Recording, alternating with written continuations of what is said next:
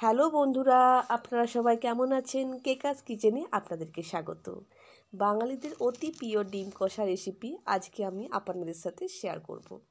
এটি বানানো ভীষণই সহজ আর সকলের বাড়িতে প্রায় হয়ে থাকে।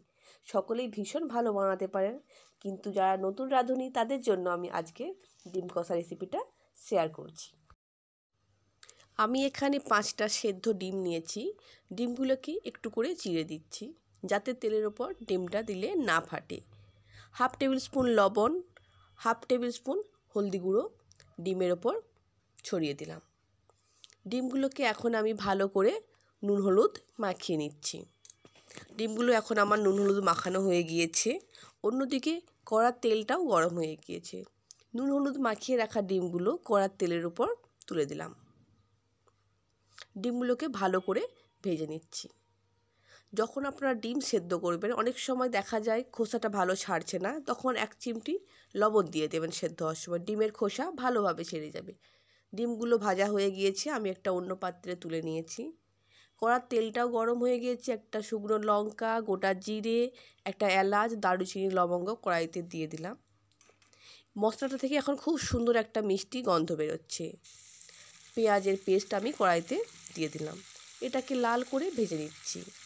আমি এখানে পেঁয়াজের পেস্ট ব্যবহার করেছি, আপনারা চাইলে কুচনো পেঁয়াজও ব্যবহার করতে পারেন। পেঁয়াজটা এখন আমার ভাজা ভাজা হয়ে গিয়েছে, রসুন মায়ের পেস্টটা আমি কড়াইতে দিয়ে দিলাম। গ্যাসের ফ্লেমটা আমি এই পর্যায়ে মিডিয়াম রেখেছি। রসুনটা প্রায় ভাজা হয়ে গিয়েছে, বেটে রাখা আদাটা আমি কড়াইতে দিয়ে দিলাম। আদাটা কিছুক্ষণ নাড়াচাড়া করে নিচ্ছি। কুচিয়ে রাখা পেঁয়াজকলি আমি কড়াইতে দিয়ে দিলাম। এটাকে এক মিনিটের মতো নাড়াচাড়া করে নিচ্ছি। পেঁয়াজ কলিটা প্রায় এক মিনিটের মতো নাড়াচাড়া হয়ে গিয়েছে। কুচিয়ে রাখা টমেটো কড়াইতে দিয়ে দিলাম। টমেটোটাকে ভালো করে নাড়াচাড়া করে নিতে হবে। টমেটোটা যাতে তাড়াতাড়ি নরম হয়, সেই জন্য হাফ টেবিল স্পুন লবণ আমি কড়াইতে দিয়ে দিলাম। লবণটা দেওয়ার ফলে টমেটোটা আরও তাড়াতাড়ি নরম হয়ে যাবে।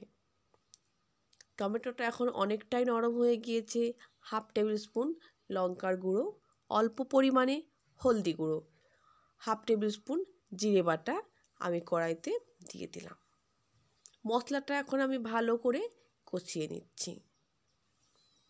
মশলাটা কষানোর সময় প্রয়োজনে কিছুটা জল ব্যবহার করতে হবে।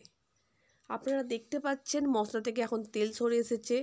মশলাটা কষানোর জন্য আমার অল্প পরিমাণ জলের প্রয়োজন, তাই কড়াইতে আমি খুব অল্প পরিমাণে জল দিয়ে মশলাটা কষিয়ে নিচ্ছি। মশলাটা প্রায় কষানো হয়ে এসেছে। এই পর্যায়ে ক্রমাগত মশলাটা নাড়াচাড়া করতে হবে, না হলে নিচে লেগে যাওয়ার ভয় থাকবে। মশলাটা আমার এখন কষানো হয়ে গিয়েছে। ভেজে রাখা ডিমগুলো মশলার উপর তুলে দিলাম।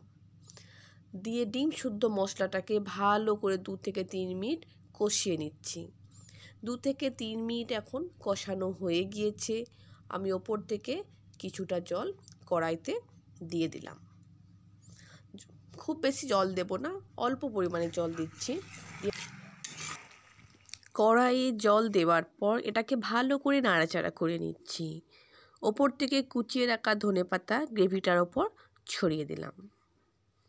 ছড়িয়ে দেওয়ার পর এটাকে আরও একবার ভালো করে নাড়াচাড়া করে নিচ্ছি। আপনারা দেখতে পাচ্ছেন গ্রেভিটা প্রায় কমে এসেছে। আমার রান্নাটা প্রায় সম্পূর্ণ। এটাকে এখন একটা অন্য পাত্রে নামিয়ে নেব। আপনারা যা রান্নাটা দেখলেন, বাড়িতে অবশ্যই একবার ট্রাই করবেন। আর যদি ভালো লেগে থাকে একটা লাইক সাবস্ক্রাইব শেয়ার অবশ্যই করবেন। আজকের মতো বিদায় নিচ্ছি। তো আবার দেখা হবে।